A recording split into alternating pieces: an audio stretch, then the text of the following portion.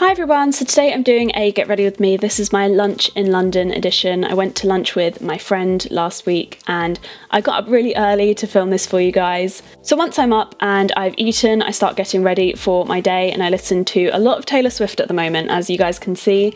And then I get on to my skincare routine and I was in a bit of a rush, so I used the Clarins One Step Water Comfort Cleanser. It smells like peaches and it is delicious and it just gets the grime from the nighttime off of your face.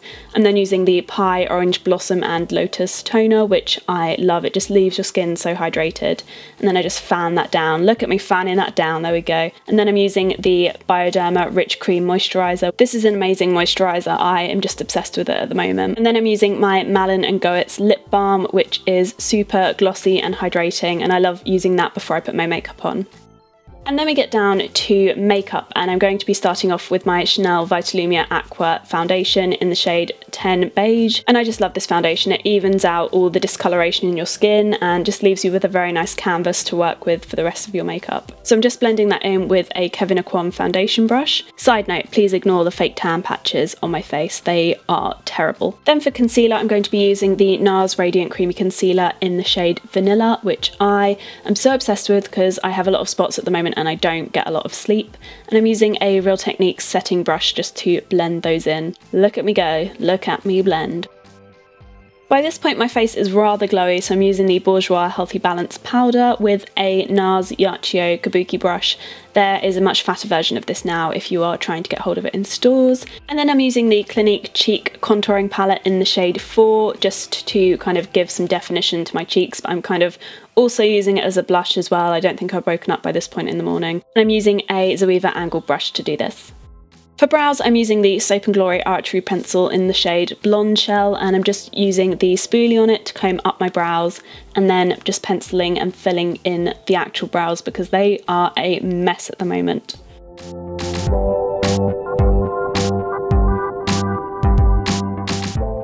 Next up I'm using the L'Oreal Brow Artist Plumper which I really didn't like at first and it's growing on me. It just has amazing staying power and my brows are so unruly that I have become quite friendly with this one.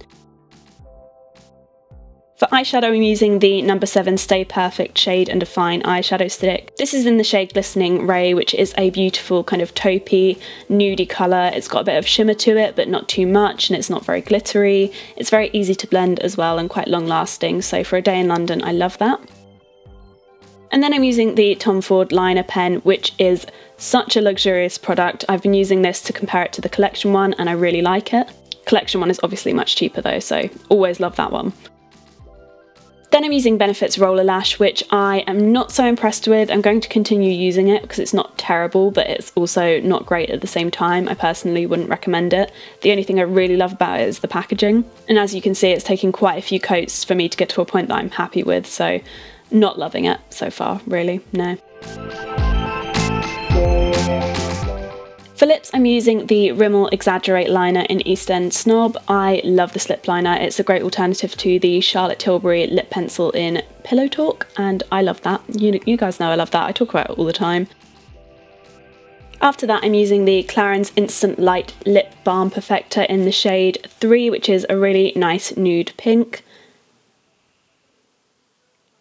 And then we move on to hair. I'm going to be curling my hair with straighteners today, which is super simple and I just love this method of curling hair. I have curlers, which you guys will have seen me use before, but for a really quick and easy curled hairstyle, I just use straighteners. So I start off by brushing my hair out and there's a bit of fluff in my hair, which I just saw, which is quite embarrassing. And then I section half of the hair up and put it on top of my head. I'm then running the straighteners over the roots just to get rid of any kinks that there might be, especially around the back they're tricksy. And after that I just take the straighteners and make sure that they are pointing down and then do a kind of curling motion.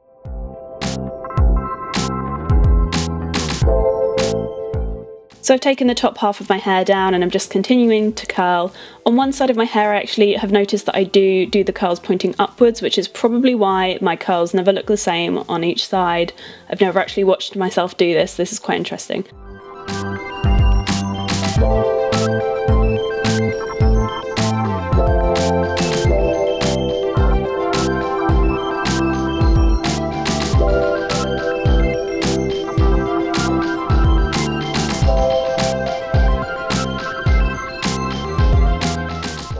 I'm taking my L'Oreal Elnett volumizing hairspray and I'm just spraying that all into place and then running my hands through the curls just to loosen them up a bit. And then we move on to my outfit, and as always in London, I go for an all black outfit. I'm not really sure why. I don't know why I just gravitate towards an all black outfit when I go into London. So I'm picking out my ASOS sheer black shirt, which I am obsessed with at the moment. I really haven't stopped wearing this. And then I'm teaming that with the Dorothy Perkins jacket, and I'm going to show you the rest of the outfit in a bit. Once I got dressed, I put on my jewellery and I'm putting on my H&M rose gold stud earrings, which I love. They're a bit of a pain to get in, but once you do, I love them. They are beautiful.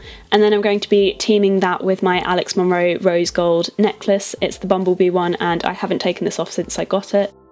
And then I pack my bag for London and I will be doing a what's in my bag soon, so don't think you're missing out on anything, it is coming. And I'm also just spraying on some Tom Ford Noir Extreme uh, cologne. I say cologne because it is for men, but I love it. And then I'm just fanning about with my ASOS sunglasses, and this is my outfit. So we have my ASOS shirt, Topshop Joni jeans, New Look shoes, which I love. And then there's the Dorothy Perkins leather jacket, which I was telling you about earlier, along with all of the accessories. My watch is always from Olivia Burton, and that bag there is from ASOS, and it's just a big tote bag, which makes everything so easy to carry around. And then that is it. I trot off to London, have lunch, and there is my finished outfit so you can see it all in full. I switched my sunglasses though, those are from Topshop. Thank you so much to Tanya for filming this bit for me because I could not have done that on my own. And that is the end of this week's video. I hope you guys have enjoyed this. Sorry about the really creepy, weird voiceover. I hope you've all had a lovely weekend and I will see you guys in my next video. Bye!